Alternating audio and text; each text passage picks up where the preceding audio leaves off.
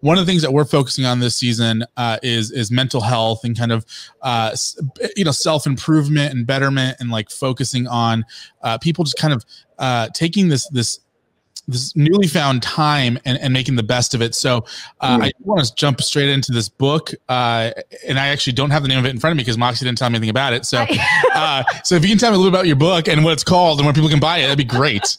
For sure. Um, so it, the, the, title is "You Are the Rock Star." Um, step into your power, live your purpose, and that kind of came from people uh, reflecting back at to me when I was on tour and when I was just living life that I was a legitimate rock star. These were a lot of my friends and family members that would tell me, you know, oh my gosh, you're a legitimate rock star. And I had the hardest time accepting that title in my own life because I just, you know, I would naturally want to deflect that and be like, nah, you know, I don't know. I'm just doing what I'm passionate about.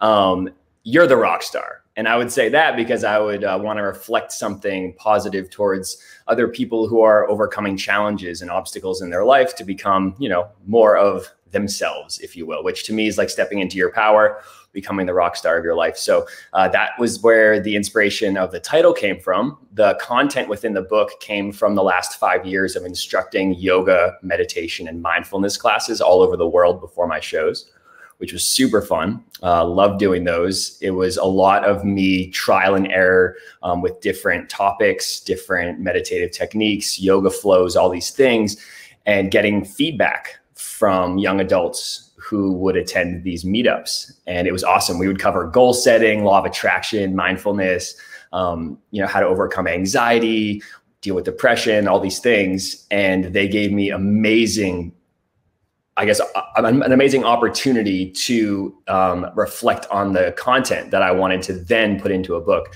Um, so that's what I did. I thought, you know what, this stuff needs to be somewhere that people have access to, even if I'm not present.